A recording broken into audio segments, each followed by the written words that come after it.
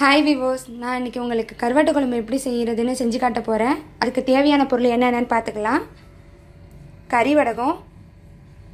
என்கிட்ட எனக்கு பிடிக்கும். இது போட்டால் நல்லா வாசமாக இருக்கும். அதனால் நான் எடுத்திருக்கேன். உங்கள்கிட்ட இருந்தால் எடுத்துக்கலாம். இல்லைன்னா பரவாயில்ல ஒன்றும் பிரச்சனை இல்லை. நல்லாயிருக்கும் வெங்காயம் பெரிய வெங்காயம் ஒன்று எடுத்து அரை இதை நான் அரிஞ்சு தாளிக்கிறதுக்கு வச்சுருக்கேன். ஒரு தக்காளி மூணு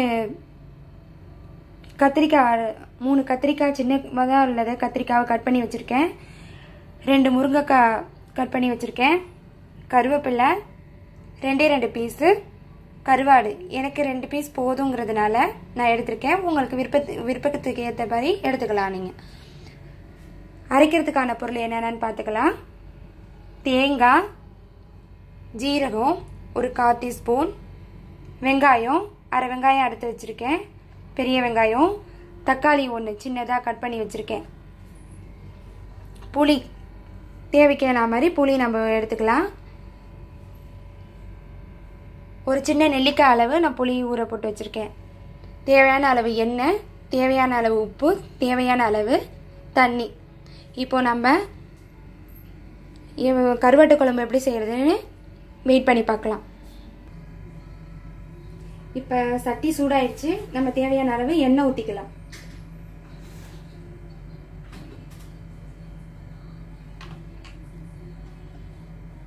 ஒரு ரெண்டு ஸ்பூன் மாதிரி நான் எண்ணெய் ஊற்றிருக்கேன்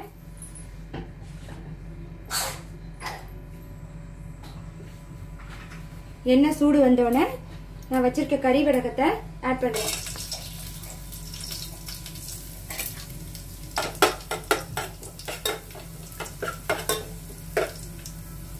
அது பொரிஞ்சு வந்தோடனே நான் வெங்காயத்தை ஆட் பண்ணுறேன்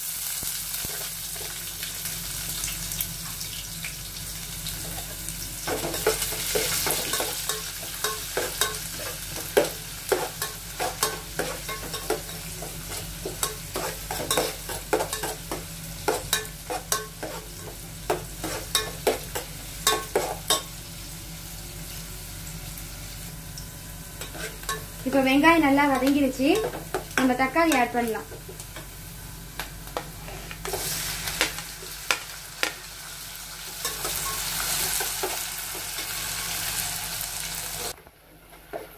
இப்போ தக்காளி நல்லா வதங்கிடுச்சு. நான் இன்னும் கொஞ்சம் நல்லா வதங்கிறதுக்காக கொஞ்சோண்டு சால்ட் ஆட் பண்ணுறேன்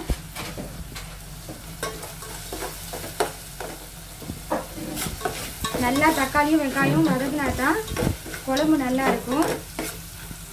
இந்த அளவு மசிச்சு நல்லா தக்காளியும் வெங்காயம் வதக்குங்க. அதுதான் டேஸ்ட்டே இதுக்கப்புறம் நான் கழுவி வச்சுருக்க கருவாடை ஆட் பண்ண போகிறேன்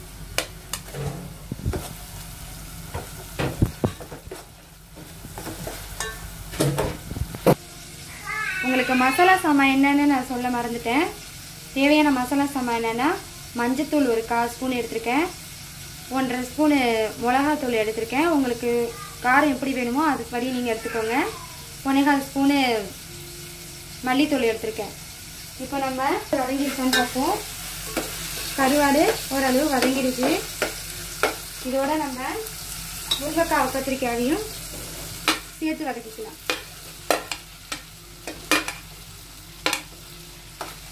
அதோட கருவேப்பிலையும் போட்டு வதக்கிக்கலாம்.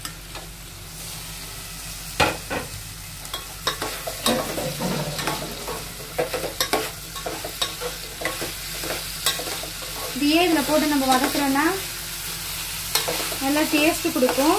இதோடு சேர்ந்து கருவாடு நல்ல ஸ்மெல்லோட வரும்.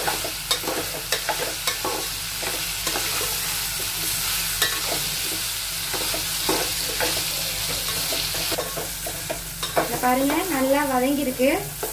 இந்த அளவு வதங்கியிருக்கு. இந்த பதத்தில் இருக்கும் போதே நம்ம மிளகாத்தூளையும் மஞ்சத்தூளையும் ஆட் பண்ணிக்கலாம்.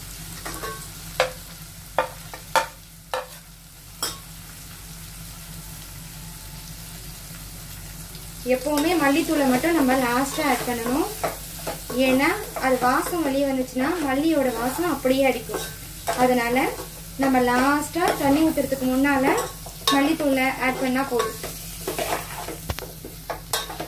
இது மசாலாவோட நல்லா கலந்துட்டு கொஞ்ச நேரம்.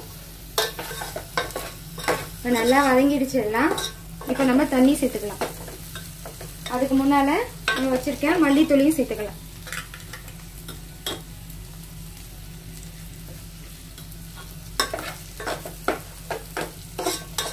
இது ஒரு பிறல பிறந்தா போதும். ஏன்னா இதோட வாசம் நமக்கு வெளியே போகக்கூடாது. அதுக்காக நம்ம தண்ணி ஆட் பண்ணிக்கலாம்.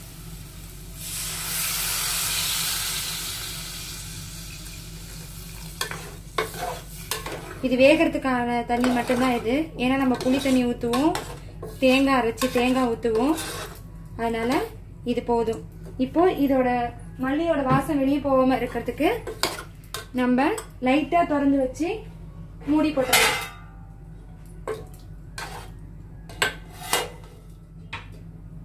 இது கொதிக்கிறதுக்குள்ள நம்ம தேங்காய் எப்படி அரைக்கிறதுன்னு பாத்துக்கலாம் முதல்ல தேங்காவை ஆட் பண்றேன். அதோட ஜீரகத்தையும் நான் ஆட் பண்றேன். இது அரைஞ்சதுக்கு அப்புறம் நல்லா வெங்காயத்தையும் தக்காளியும் நம்ம ஆட் பண்ணிக்கலாம். ஏன்னா அது சீக்கிரமா அரையக்கூடியது.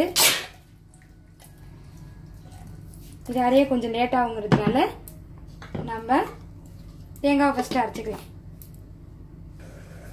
இந்த பாருங்க தேங்காய் நல்லா அரைஞ்சிருச்சு. இதோட நம்ம இந்த வெங்காயத்தையும் தக்காளியும் ஆட் பண்ணிக்கலாம்.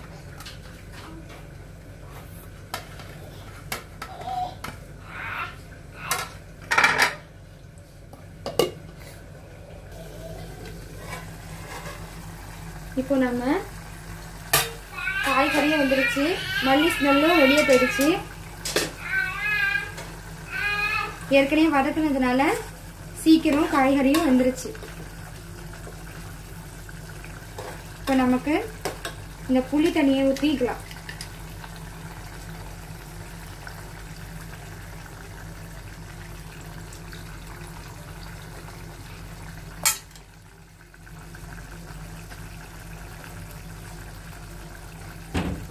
உங்களுக்கு புளிப்பு எப்படி வேணுமோ அந்த அளவு நீங்கள் ஊற்றிக்கோங்க புளி ஊற்றி ஒரு ரெண்டு நிமிஷம் கொதிச்சதுக்கப்புறம் நம்ம அரைச்சி வச்சுருக்கேன் தேங்காவையும் வெங்காயம் தக்காளியும் ஊற்றிட்டா குழம்பு ரெடி ஆகிடும்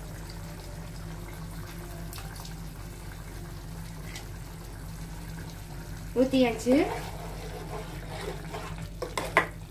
ஒரு ரெண்டு நிமிஷம் கழிச்சு நம்ம வச்சுருக்கேன் வெங்காயம் தேங்காவையும் அரைச்சி வச்ச தேங்காவையும் ஊற்றினா நம்ம கருவாட்டு குழம்பு ஈஸியாக ரெடி ஆயிடும். சில பேருக்கு அந்த கருவாட்டு ஸ்மெல்லு பிடிக்காது.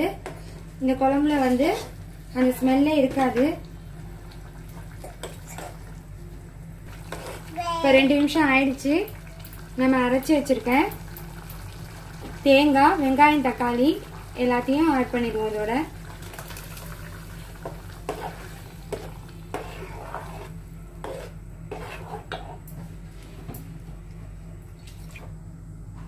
இப்போ நல்லா கொதிச்சிருச்சு. இப்போ குழம்பு நல்லா ரெடி ஆயிட்டு இதோட நம்ம மல்லித்தலையை ஆட் பண்ணிக்கலாம்.